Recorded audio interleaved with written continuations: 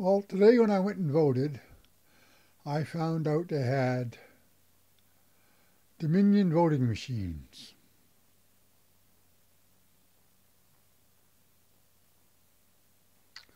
Now the problem I have with that, I asked them, I said, these things hook to the internet.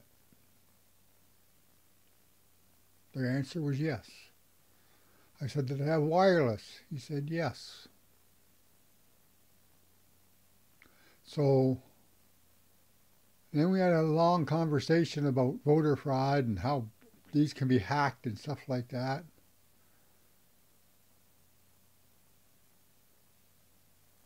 Election results tonight are going to be interesting. That's all I can say. It's the same thing goes on here as when in down in the States and we find out the Liberals are behind it. I think the Liberal Party should be banned in Ontario. Just my thoughts. Bye.